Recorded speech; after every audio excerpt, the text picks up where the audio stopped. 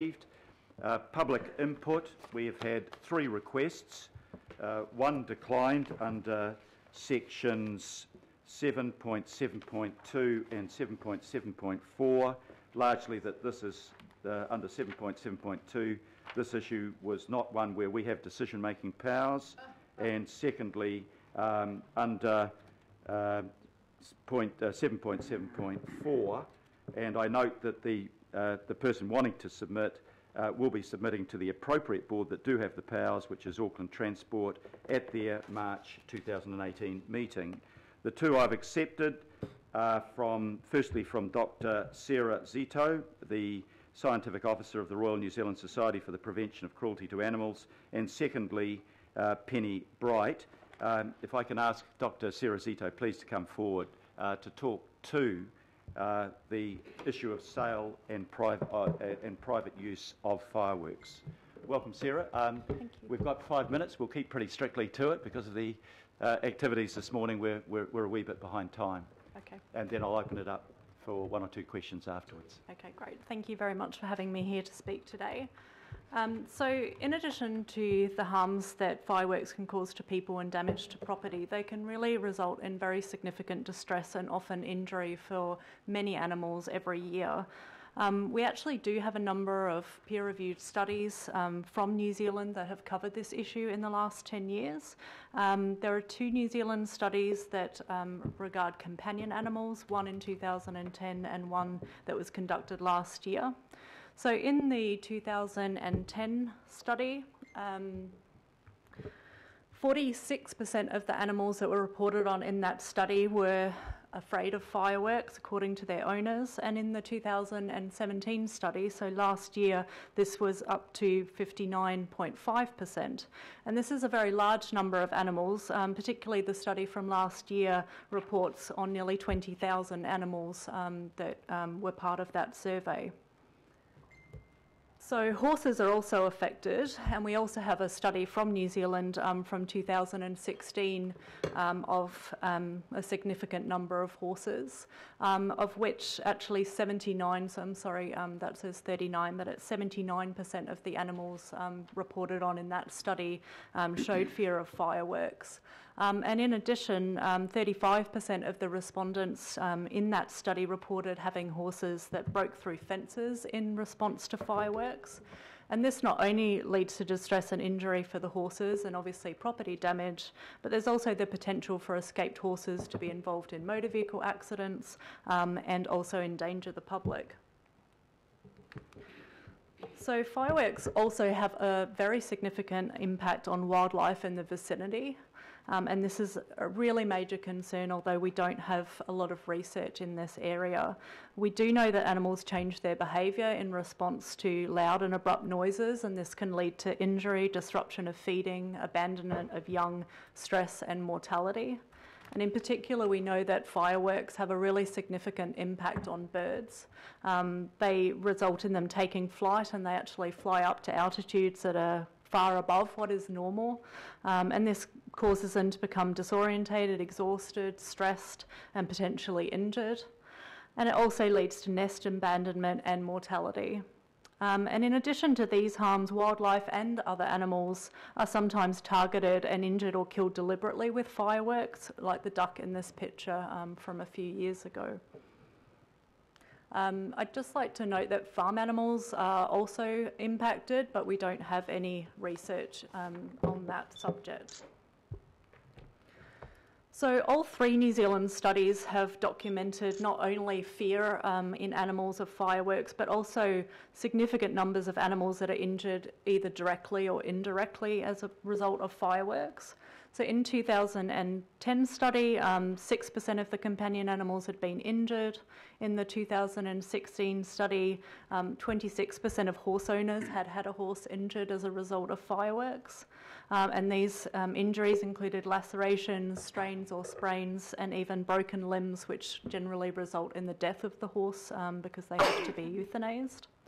Um, and in the study from last year, we found at least 345 animals had been severely injured at least once due to fireworks, and 15% of those animals had actually um, needed to be euthanized or they had died as a result of their injuries. So the SPCA's position is that we would like to see a complete ban on the private sale and use of fireworks due to the really significant harms that they cause to animals, people, and property. Um, this ban could prevent the deaths and psychological trauma, serious injury of animals, and um, the distress and harm that the fireworks cause to animals in our community. Um, the New Zealand Veterinary Association and the New Zealand Companion Animal Council also support a ban, and many other countries such as Canada, South Africa, Australia, and Finland have really strict limitations or bans on private fireworks. Um, so we would not be alone in taking this step.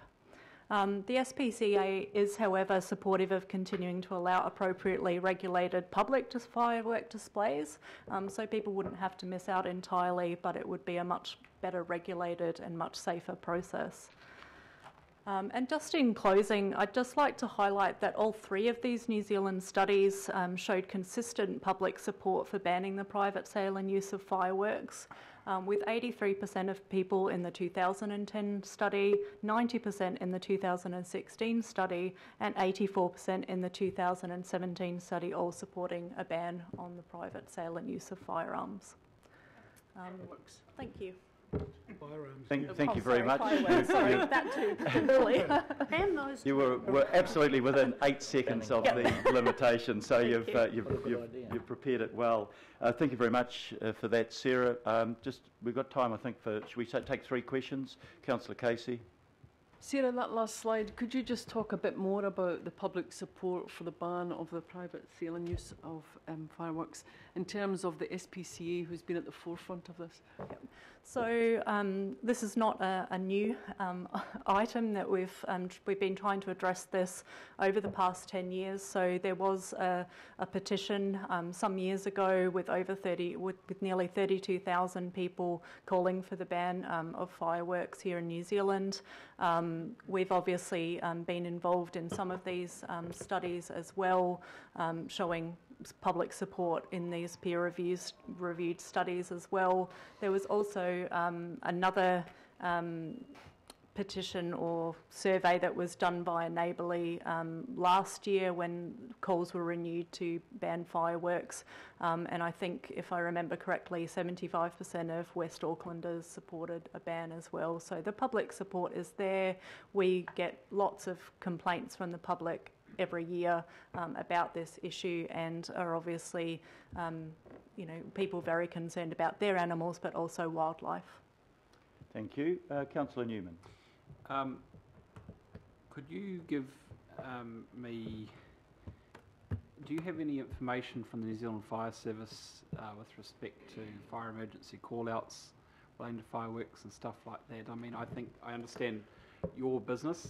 Yep. Um, but do you have anything that you could add in relation to um, fire emergencies? Um, well, I wouldn't like to speak to what, what they see because um, I don't have that information. Um, all I can speak to is, is what we what we receive from the public and what we see in our shelters as a result. So I'm sorry I can't give you that information. But one more, Chair. Um, with, with respect to, um, do you have, a, uh, in terms of the, um, the animal um, deaths, um, euthani- um, euthanized cases, do you have a breakdown by shelter? Um, I, I don't have that with me, but we could certainly engage on, on those kind of things later on if you if you wanted to. That to. would be great if Yep. I could. I'd appreciate that. Thank you very much. Uh, Councillor Clow? Yeah, Just two questions. Uh, the three studies there, one, two, three, with the, uh, who, who did the studies? Um, so the first one in 2010 um, was um, done under the Companion Animal Council, the New Zealand Companion Animal Council. Um, the second one, um, we weren't involved in that one. That was specifically related to horses and the manage of, management of horses with relationship to fireworks. And the ones the one last year, which hasn't yet been published, um, but is being written up for publication now, was one that we did as an organisation in conjunction with the Companion Animal Council. Okay, And second question, you mentioned strict limitations in some other countries. What, I mean, obviously there's bans, but what are the strict Yeah. limitations? Um, I probably can't speak to that because I'm not sure of the exact um, specifics of those, and I wouldn't want to make any mistakes in, in that. Thank you. Thank you. Last question, Councillor Filipaina. Uh, Thank you, Your Worship, and, and, and and thank you also for the, uh, the presentation. The question is around the surveys. Yes. Now, you mentioned uh, 32,000. You also mentioned 75% of West Auckland wanted to ban the, the, the- the fireworks. How many people completed the survey? Um, In- so In the West Auckland example? um, that one I'm not sure about. I that was a survey conducted by Neighbourly, and, and so it was just reported as 75%. So that's not one that I have intimate knowledge of. Um, in terms of the ones that, that, that we Sorry? did, so the one last year, um, it was we reported on almost two, sorry, 20,000 animals, um, and there were over, and that's from about 3,500 respondents from the one last year. Yeah. Okay, thank you. Thank you very much. Um, Well, I'll I'll move that we receive note and thank uh, Dr. Second. Sarah Zito for her presentation. Do I have a seconder for that, uh, councillor Casey? Uh, All those in favour, please say aye. Aye. To the contrary, no. Thank you very much, Sarah. That was very clear Thank you uh, very and to the point. Okay. And we're having a discussion, obviously, later in the agenda on this, Okay. this very topic. Thank you. Great. Uh, Can I ask uh, now Penny Bright to come forward, please, to speak on the review of the elected members' code of conduct, which is also on the agenda for later this morning. Penny, uh, five minutes, and then we'll take, uh, we'll take a couple of questions if there are questions on it. Thank you, Mayor. Uh, Before I start, congratulations, Josephine. Lovely to see the town hall packed and members of the community here and being engaged and participating in local government in Auckland. Thank you, Penny. Uh, I also note that today, the 22nd of February, is the day that the 2017 Transparency International Corruption Perception Index has been announced, and New Zealand again is perceived to be the least corrupt country in the world. All I can say is they obviously don't talk to um, unprotected citizen whistleblowers. However, as far as this meeting is concerned, what concerns me is in the, in the process for the review of the Auckland Council Code of Conduct, um, the public have basically been completely excluded as stakeholders in this process. Let's remind everybody that who elects you councillors are the public, and the Code of Conduct is a mechanism by which um, you can be held to account. So I'm deeply concerned that the process is excluding the public as a stakeholder. I note the consultation has been with some elected representatives, some senior managers, and Local Government New Zealand. Local Government New Zealand apparently has promulgated a revised template for councils to use as far as codes of conduct are concerned. Who are Local Government New Zealand? Have a look through the law books in the, legis- in the legislation and see if you can find out any legislation that covers local government New Zealand. You won't. They're not a creature of statute, they are an incorporated society which councils can choose to join if they wish. What is the mechanism by which the public or citizens can be involved in local government New Zealand? Well, basically, they can't because there's no mechanism. So, um, what also really concerns me is that local government, the Local Government Act 2002, the purpose of local government is to enable democratic local decision making and actions by and on behalf of communities. The communities, the public, need to be involved in this process. As far as Auckland Council Code of Conduct governance, principles, the Local Government Act 2002, Section 39, defines governance principles relating to local authorities. The following governance principles are relevant to a code of conduct. A local authority should ensure that the role the role of democratic governance of the community and the expected democratic governance and the, and the sorry and the expected conduct of elected members is clear and understood by elected members and the community. How many of the community even know there's a code of conduct? How is the process by which the public even know about it? And I believe that by involving the public in the review of this code of conduct is a mechanism to help make the public aware. So, in terms of, I note that in the current Code of Conduct, duty to uphold the law, there are some pieces of legislation that are spelled out, and I note yet again the Public Records Act is not included.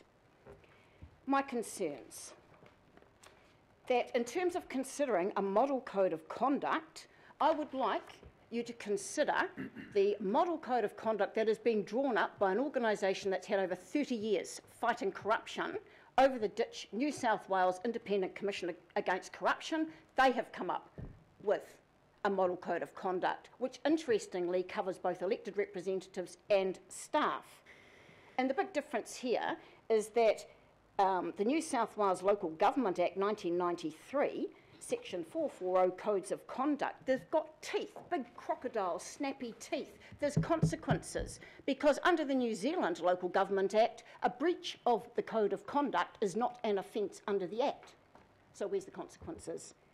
And what I would like to remind people of is that where the Auckland Code of Conduct has been taken for a test drive, in the case of former Mayor Len Brown, without going into all the notorious details, um, that was treated as a breach of the Code of Conduct.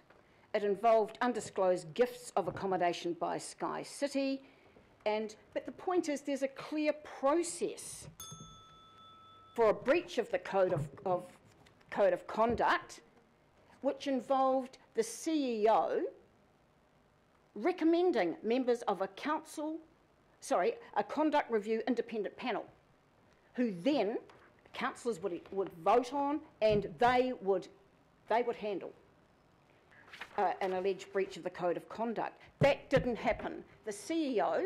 Can I, sorry to interrupt, but uh, the time is up. I'm, I'm, going to invite members now who might have questions arising out of it. Uh, the agenda item is the review process for the Code of Yes. Conduct, so we may be having discussions um, a little later in the morning or early afternoon as it, it, it may be, and you're very welcome, of course, to, to be here. It's an open session. It is open to the public, or you can watch it as it's live streamed. Are there any questions from councillors? Uh, Councillor Sayers and then Councillor Newman. Uh, Thank you, Worship, and uh, uh, thank you, uh, Ms Bright, you know, for continuous, um, I guess, um, advocacy around, around this. It's, and, and it gives thought, you know, and I'm sure councillors, you know, uh, take on board and hopefully listen to what you're saying because it stimulates um, new thought. And uh, thank you for acknowledging um, our new councillor as well, and I'd like to acknowledge you as well, councillor. Congratulations. So, so look, later on, as, as His Worship mentioned, um, we could ask the officers around um, how the public might be able to be involved in the process, and if that's if that's a possibility. So that's just perhaps foreshadowing for the officers that question. But my question to you, Penny, would be: you you mentioned this um, um, model template, I think you used in New South Wales. That that's there, um, and uh, be happy to have a look at that. Um, you might want to send that to the councillors. But in New Zealand, in anywhere in New Zealand, either Legacy Council, Auckland, or anywhere else, um, you may not have done this research, which is fine. If you just let me know. Um, is there any precedence in this country around the type of public involvement that you're seeking around setting code of conduct? Um, not to my knowledge, mind you, of course, the public weren't involved in the establishment of the Super City or the CCO model. We've had a lot of things that have sort of been dumped on us. And, um, but I think that the whole concept of involving the community and bringing local back into local government, that we should be looking at how can we uh, give those who are interested, because not everyone is, but some of us are, and some of us actually have some expertise in this area, and the door should be open for people that want to get involved and make suggestions for us to have that opportunity, because at the moment, we don't. Thank you. Great. Uh, Councillor Newman. Uh, Penny, two questions from me, and thank you for the presentation. Um, the reference to ICAC in New South Wales. Yes, ICAC is the Independent Commission um, Against Corruption. yes. is constituted by statute, state law. In the absence of statute in this country, beyond the reference to the, um, which is included in the paper later on, which is, which is um, which is pretty modest, what, um, what effective mechanism is available absent statute? Because we are a creature of statute. Yep. But the ICAC, um, the commission that applies in New South Wales, which investigates not just state government there, but you know the public service, all sorts, Yes. um, is underpinned by statute. It has very, very strong um, offences, penalties, etc. It's got a judge. In the absence of that, how can we emulate?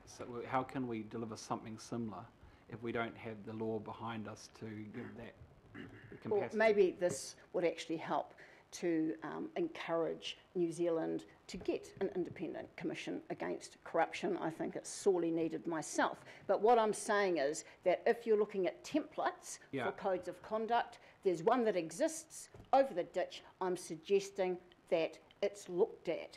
Because something else that I discovered as far as New South Wales is concerned, it's actually unlawful um, for property developers, um, liquor and gambling industry businesses, tobacco industry to give political donations to elected representatives. That's just another interesting thing in terms of um, what happened with, with Mayor Len Brown. So all I'm saying is there's a template. If you're looking at templates, have a look at it.